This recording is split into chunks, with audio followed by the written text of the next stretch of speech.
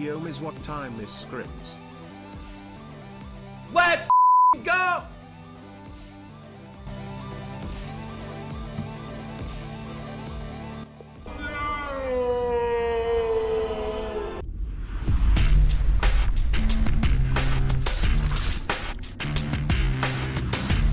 Hey everyone, Thordan Smash here, and today we're going to be talking about a bug and glitch that is impacting a ton of Apex Legends players where all their stats and the RP that they've gained in ranked keep getting reset. And what may be causing that because it seems very familiar to an issue we've seen in the past. Along with that, Chinatown Market has rebranded officially, and there's some news on these skins that will be coming, so we'll cover that as well. Let's dive into the RP issue. Over the weekend, there has been a massive Apex Legends bug that has been resetting players' progress, and as you can see here, this player reached gold, but then when they quit or reset their game, they were knocked down to silver 1 and then back down to silver 2, losing all the RP that they had gained. And it's not only an issue for ranked, a player here was complaining that they reached level 494 10 different times, the progress in their battle pass got rolled back, and their kills and damages didn't count either. I've had multiple people reach out to me saying they dropped the 20 bomb and now nothing is counting on their accounts. You can even see an example of it live in action right here where a Apex Predator has 13,023 RP. They simply go to the lobby, load back in, and they have automatically just lost RP even though they haven't played a match or done anything at all. From what I've seen and heard, this seems to only be impacting primarily PlayStation players, and this reminds me of something very familiar we had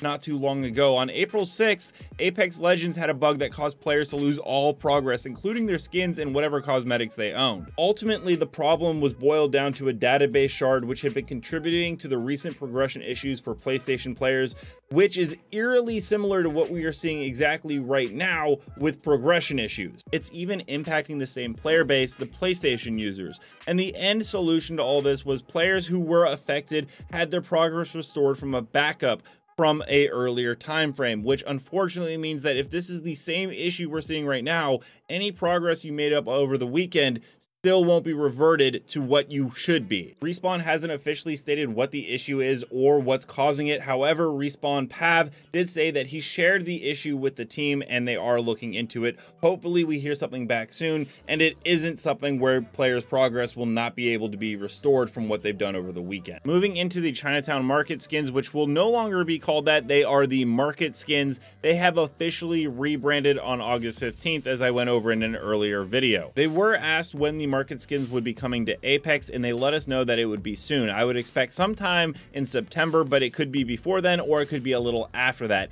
Here are the skins before they rebranded. I would expect something very similar to this, just with some logo changes. The skins were data mined by Shrugtal, and as you can see, we were supposed to get a Wraith legendary skin called Ringside with a bobblehead charm. We were going to get a Mirage swordplay banner frame with the Nightcrawler skin and a punching bag epic charm. The Lifeline was going to get a Temperature Rising banner frame, a mic Check Legendary Lifeline skin, and a DOC Epic Charm, and Bloodhound was to receive the Sundown Desperado Legendary skin and the Lowrider Legendary Flatline skin. That's going to be the information about the Market Town skins, hopefully coming to Apex Legends very soon. Along with that, hopefully they fix the impacting issues for PlayStation players with their accounts not counting, and we see a fix for that very soon if they haven't done it already. And until next time, Legends, keep slaying in the Outlands, and I'll see you out there.